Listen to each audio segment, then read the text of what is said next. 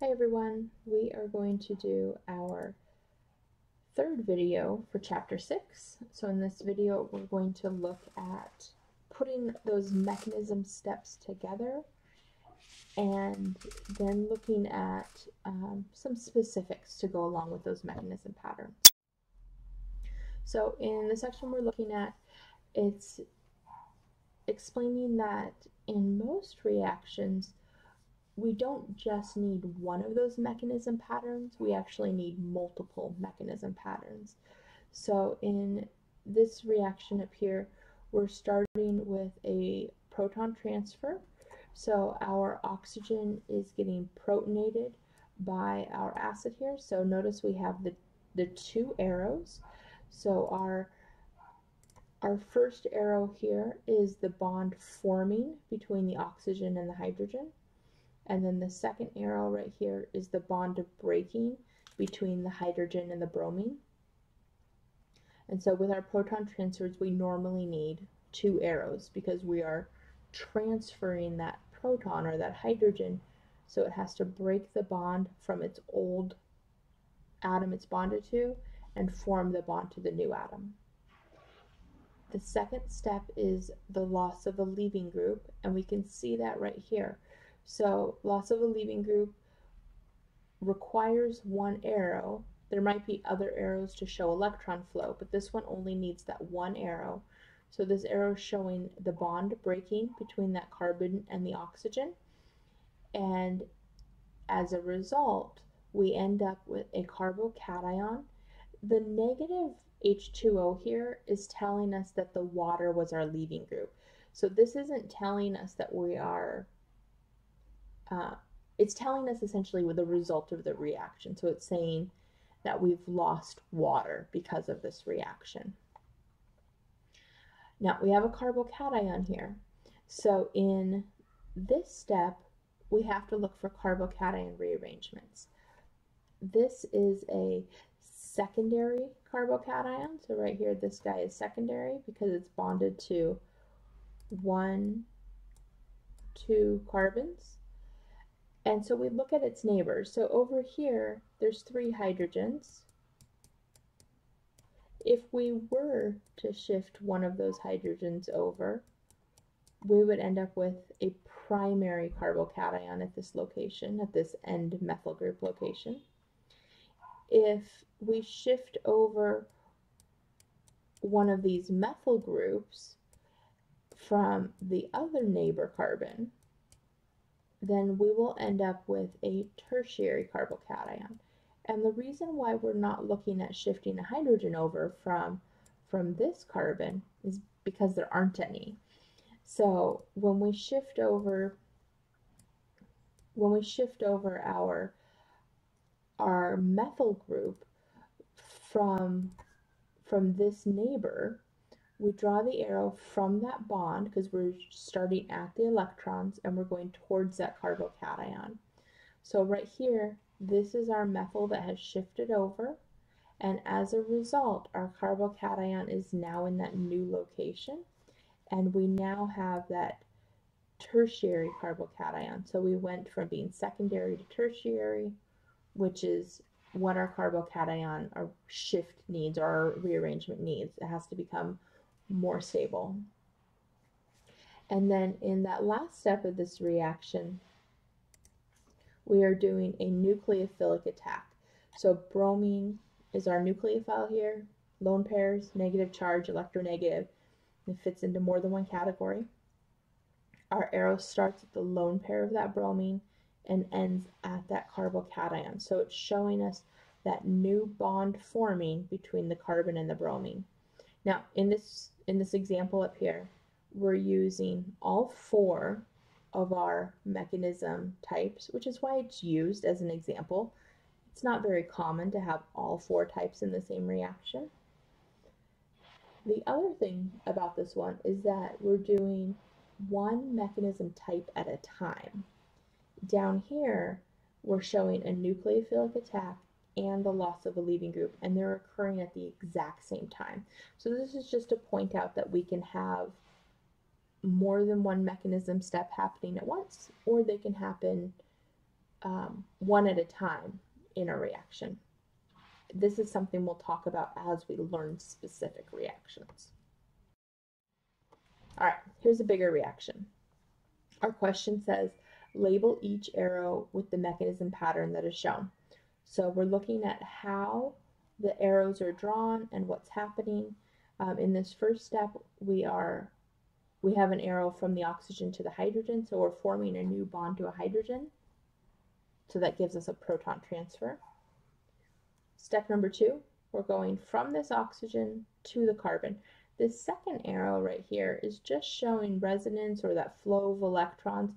So this isn't technically part of our mechanism patterns. But as we go from that oxygen to that carbon, this falls under the nucleophilic attack category. The oxygens are nucleophile. In the next step, we have A here. So if we go back and look, we had HA. HA is often just used as a generic acid, just like it was in general chemistry. So this is our conjugate base of that acid. But what's important here is what our arrows are doing. So again, we're involving that hydrogen, which tells us that we're going through a proton transfer. And we're going through a proton transfer, and in this case, it was a deprotonation. So we're removing a hydrogen from this oxygen. We're going to do one more proton transfer. So here's our oxygen, and we're forming a bond to our hydrogen there. So again, proton transfer. And then let's look at this step down here. So we have two arrows, one going from that lone pair to right here. So that's telling us that a new double bond is going to form. And then another arrow going from the bond onto that oxygen. So this bond is showing that we have a leaving group the bond is breaking and the electrons are going onto that oxygen as a lone pair. The second arrow down here is just showing that flow of electrons. So there's our water as our leaving group, loss of leaving group. Next step, we're going from the lone pair to that carbon. So this is very similar to our step that was up here. So again, we have a nucleophilic attack. And then in our last step, we have, again, our conjugate base. And as it forms that bond to that hydrogen, we are doing another proton transfer. So again, this is a deprotonation step. And then we get our final product there.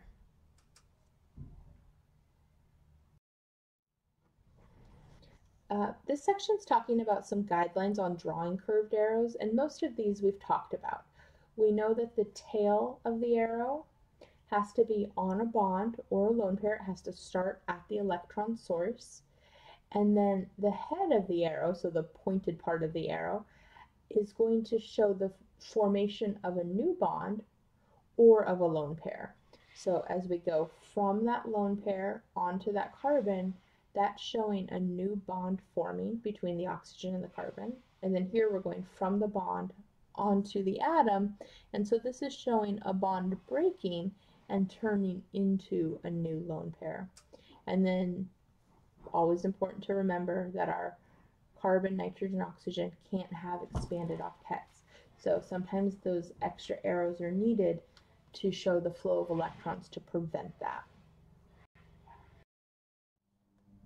I'm sorry, I thought I would be able to do this. Let's do it this way instead. There we go. So we're going to have an arrow going from our bond to our bromine. So that's showing the bond between the carbon and the bromine. But then our bond between the bromines needs to break. And we know that that's going to happen because they're not bonded together anymore. And we end up with this negatively charged bromine over here. So as, as this bond right here breaks, those electrons are turning into a lone pair. Um, that one might be the hardest one on here. I think I put the hardest one on the top. So if we look at the second one here, we have a carbocation and we have a negatively charged nitrogen. So we have a good nucleophile and a good electrophile.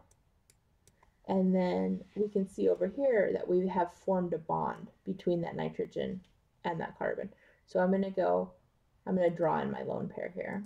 I'm going to go from the lone pair to that carbon. So this falls under our nucleophilic attack category.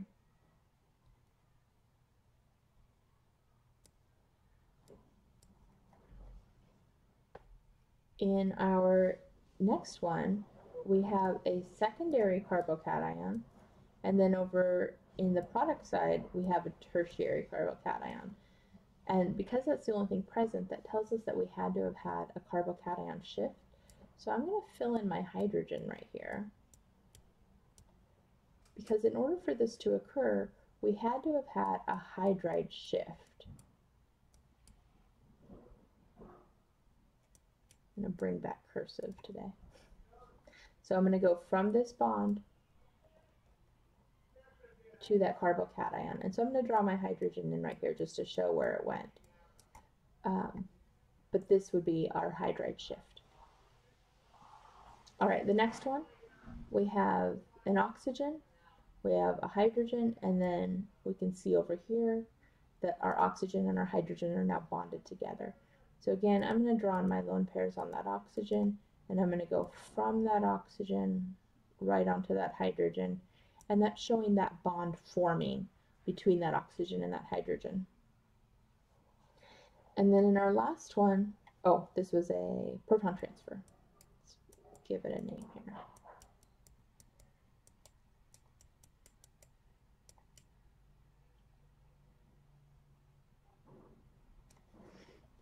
In our last example, or last problem here, we have a bond between a carbon and a bromine, and then over here we end up with that carbocation, and we end up with a bromide. So because my bromine's no longer bonded, I know that it needs to break away from the rest of the molecule, and because it's negatively charged, I know it's taking those electrons with it. So I'm going to go from the bond right onto that bromine, and I know that this is a loss of a leaving group.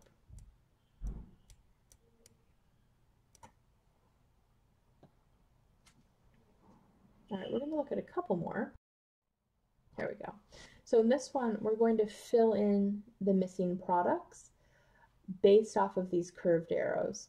So in that first problem, we have an iodine going towards that carbon, and then our arrow showing that bromine, the electrons going onto that bromine. So I know that there's two things happening here. Um, in the iodine arrow, I know that this is a nucleophilic attack because my iodine is my nucleophile and it's forming a bond to that partial positive carbon. The second arrow to the bromine is going to be my leaving group arrow because my electrons are going onto that bromine and it's showing that bond breaking. So we end up with this as our product so there's my bromine as my leaving group, and my iodine is now bonded to that carbon. In the second one, I'm going to put my lone pairs on my oxygen there. Our arrow is going from the oxygen to that carbon. So again, this falls under our nucleophilic attack category. Our oxygen's a nucleophile because of its lone pair. Our carbon is an electrophile because of its positive charge. So when we draw out our final product, we end up with this. Now our oxygen has a positive charge on it because it still has those two hydrogens bonded to it. And because it has those two hydrogens, it will be positively charged. All right, last one. We have a cyano down here. So we have a carbon with a negative charge. And our arrow is going towards our partially positive carbon and then our second arrow is going from our pi bond up to that oxygen. So our cyano group is going to be a good nucleophile because of its negative charge. So this is a nucleophilic attack. And then our second arrow is, again, just that flow of electrons. Um, we know that one of our resonance patterns was a pi bond between two different electronegative atoms, so that's why it fits in here. So there we go. Our oxygen is negatively charged because it gained those extra electrons. And remember, the charge has to stay the same. So over here, there was over on the uh, left side, right here we had one negative charge, so we still have one negative charge. Over here we had one positive. Over here we still have a positive. Over here we had a negative, and we still have a negative. So keep that in mind as you're drawing these structures to keep your charges balanced. All right, one more, or one more page. Um, so in our first example there, are we have two arrows. We're going from the oxygen towards the bond, and then from the bond towards the chlorine. So this is our leaving group. So we have the loss of a leaving group.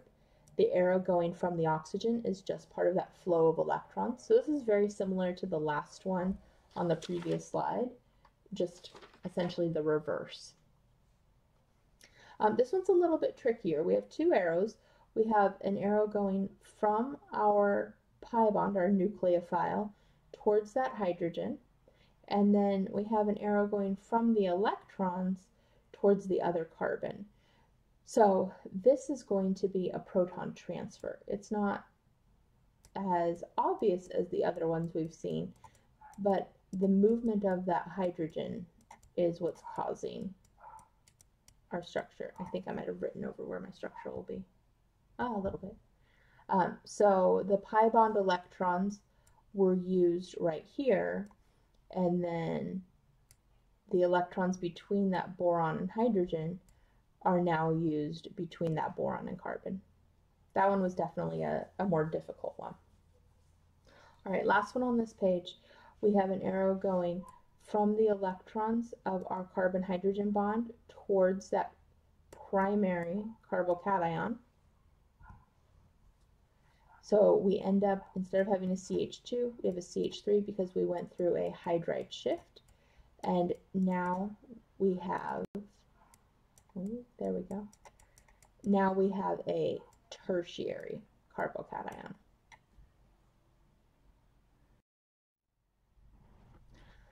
All right, in our, our next section, we're looking at whether or not carbocation shifts will occur. Anytime we have a carbocation, we have to think about whether or not they can occur. And the way we decide is really a, a couple steps. The first thing we want to do is we want to decide what type of carbocation we have. So in our question here, can a shift make these carbocations more stable? So if we look at our, our first one in part A, we have a secondary carbocation. And I know this because we're bonded to two carbons. And so to decide, so that's our first step. Step number one is to decide what type of carbocation you already have. Step number two is to look at the neighbors. And we want to look for hydrogens and methyl groups on the neighbors.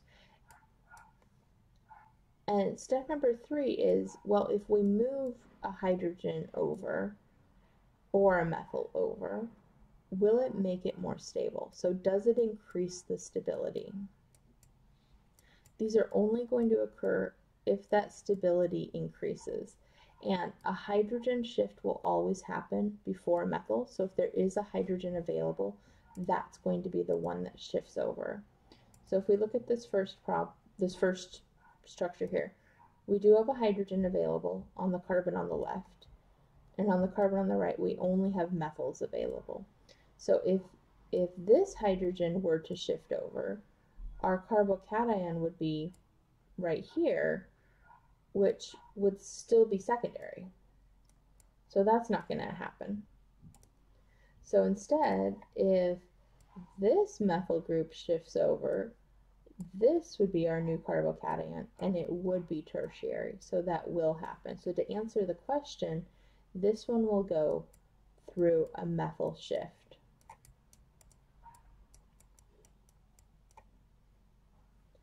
In part B, we have a primary carbocation. So when we look at the neighbors, there aren't any to the left. When we look at this carbon, it does have a hydrogen on it. And so if we shift this hydrogen over, our carbocation will then be right here, and it will be a tertiary carbocation. And so it will become more stable. So this one's going to go through a hydride shift.